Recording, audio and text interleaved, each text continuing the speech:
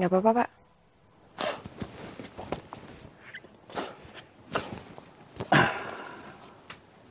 Lagi Flu. iya.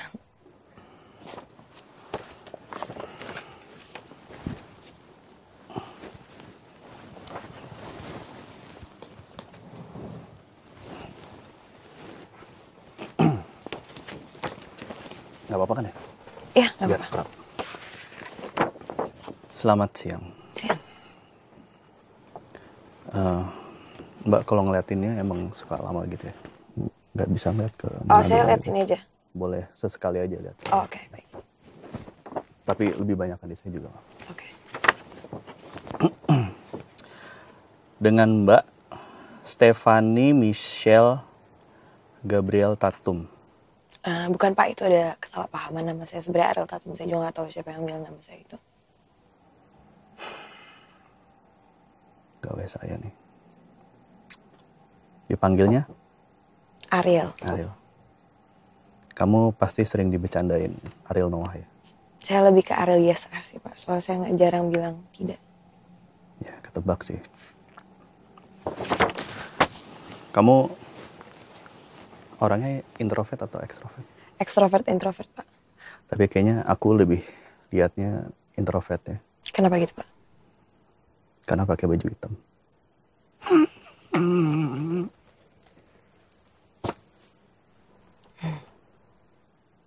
Kamu punya sahabat, Ada, Pak. Sebastian namanya ya. Bukan. Mbak Ariel, Noah.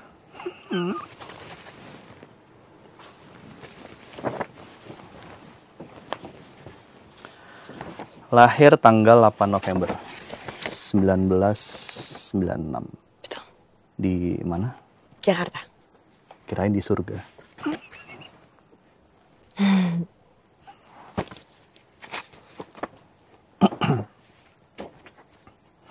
Di CV ditulis kemampuannya nih. Bisa acting, lukis, masak. Masak bisa? Bisa. Eh, paling suka masak apa? Masak air. Cakep.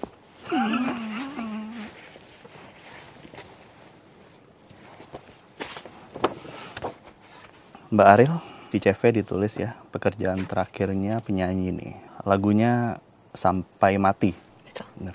Lagunya tentang apa sih? Tentang eh, sebuah hubungan yang tadinya rencananya mau sampai mati, tapi akhirnya nggak jadi, Pak.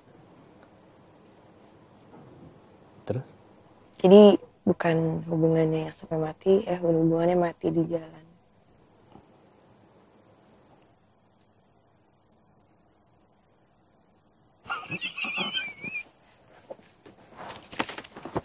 Lagunya kayak gimana sih? Kau bilang sampai mati. Kau bilang ku tak lagi sendiri.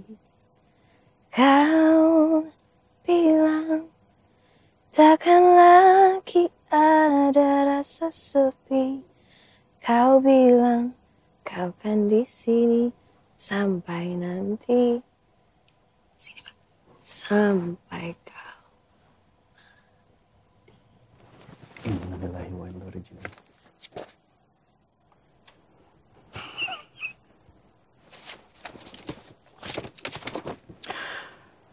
Aku sih yes ya. Terima kasih.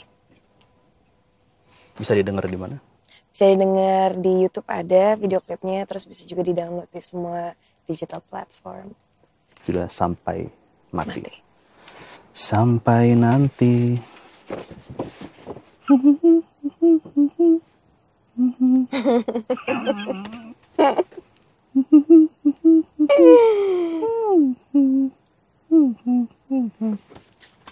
saya sih yes. Nggak tahu Mas Dani.